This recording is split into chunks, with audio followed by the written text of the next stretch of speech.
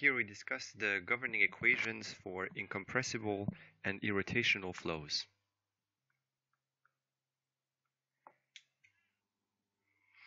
So incompressible flows um, means that the, the flow satisfies the incompressibility condition so that the divergence of u is equal to zero. And irrotational flows are flows in which the curl of the velocity field is always equal to zero and the curl of u being the vorticity, that means that there is no vorticity in the fluid. Now another way of saying that a flow is irrotational and that the curl of the velocity is zero is to say that um, the flow velocity, uh, the, the velocity field, uh, derives from a potential. So mathematically, the fact that the curl uh, is equal to zero is equivalent to saying that there exists a potential, we're going to call it phi, uh, such that the velocity field u derives from a potential. So we can write u as the gradient of a function. So this is a field. Again, it could depend on the position uh, and time, and that here is um, a velocity potential. Note that um, this idea that when the curl of a vector field is equal to zero, that means that this vector field derives from a potential you have seen before uh, in the context on, of conservative forces. So this is here a side note. So the way we've defined conservative forces in your uh, dynamics class is uh, a force field. A conservative force uh, is a force such that the, the, the force doesn't produce any work on any closed contour. So that, that means that the force does not uh, work. So if you have a closed trajectory, you start from a point and you move back to the original point, your force will not have produced any work. The way you write this is that the work on this co closed contour, which is the closed integral uh, of the work, so f dot dl, this has to be equal to zero. Now you've seen before that in that case, when the force is conservative, this here is equivalent to saying that the force derived from a force potential. So we can always write in that case that the force uh, can be equal to minus. For forces, we put a minus sign, not for velocities, and we don't put a minus sign here. It's equal to the gradient of a force potential. But now if you use the Stokes theorem, you know that the uh, circulation, if you want, of the velocity field is going to be equal to the flux through a surface of uh, the curl of your force field, sorry, dot nds. And therefore saying that this is equal to zero is actually equivalent to saying that the curl of f is equal to zero everywhere. Right, so here you have this equivalence between the fact that the curl of f is going to be equal to zero and the fact that you can derive your force uh, field from a potential. Right? So this is actually a mathematical relation, and it's the same one that we use here. If we have an irrotational flow, then we know that our velocity field derives from a potential. So if we have an irrotational flow, we will equally, um, equivalently say that our velocity field is equal to the gradient of a potential. This is also just saying that the flow here is irrotational. All right, now there's another um, element associated with uh, irrotational flow. Uh, note that at this point I want you to see that uh, assuming a flow is irrotational is really assuming something about the velocity field. You're assuming that at every single point in the flow, if you look at the velocity field, there is no rotation in the velocity field. You, you could have deformation, so your rate of strain tensor might not be equal to zero.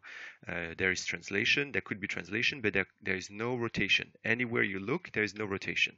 But it's really a property of uh, the velocity field. It's not a physical property, as if you said the flow is inviscid, for instance. However, we will see that uh, for an rotational flow, there is a consequence in terms of um, yeah, that is related to inviscid flows. Um, and so if you take the curl of um, the velocity field, sorry, I mean if you take the curl of the vorticity field, for an irrotational flow, it is quite clear that the curl of a vorticity field um, is equal to zero because the vorticity is equal to zero. Now that this has consequences if we now look at an incompressible, at a flow which is both incompressible and irrotational. But uh, before I say that, I have to remind you of, uh, again, a result from um, tensor analysis, uh, from differential calculus. And this is not something that you are supposed to remember, but uh, some of you might remember that. Um, so if you take the curl of the vorticity, this is equal to the curl of the vorticity is the curl of u. And again, you have one of this composition of a, a differential operator with a differential operator. You can actually uh, show that this is equal to the gradient of the divergence field. Note that this is still a vector. You know, just is, this is a vector, this is a vector, this is a vector field, I should say, plus the divergence of the gradient of u.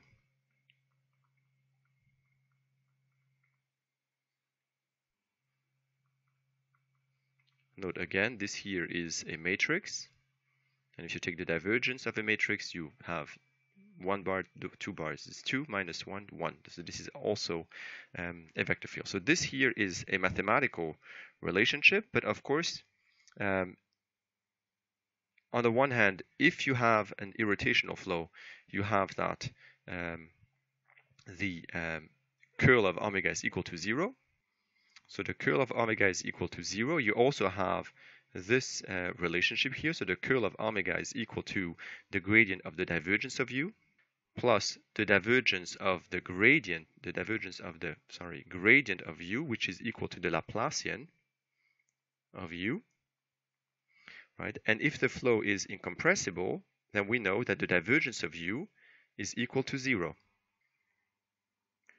And therefore, if the flow is incompressible and irrotational, what you have is that the Laplacian of the velocity field is equal to zero. Now, of course, this term here is not unknown to you. Um, you know that it comes into the momentum equation of um, the Navier-Stokes equation, and so a consequence of uh, an incompressible and an irrotational flow is that uh, the viscous term in the momentum equation disappears. So if you write the momentum equation, you have that rho times the material derivative of the velocity field is equal to minus the grad of the pressure plus mu times the Laplacian of the velocity. And you see here that this term is equal to zero for uh, incompressible irrotational flows.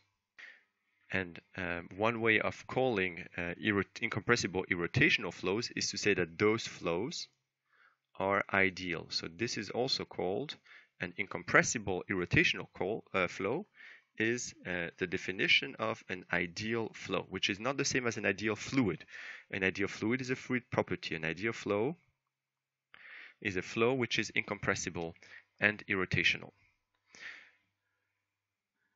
So here rho is equal to material derivative of u dt is equal to minus grad p. So the momentum equation for an ideal flow reduces to the Euler equation. And so note that for an incompressible irrotational flow, the flow is inviscid in that the viscous term uh, is equal to zero It, in that case, it is different than to say that the flow is um, that the fluid is inviscid. The viscosity could be non-zero, but if the flow has this property of being irrotational on top of being incompressible, then there is no there is no flow field for the viscosity to act upon. There is no component of the flow field for the viscosity to act upon because the Laplacian of u uh, is equal to zero.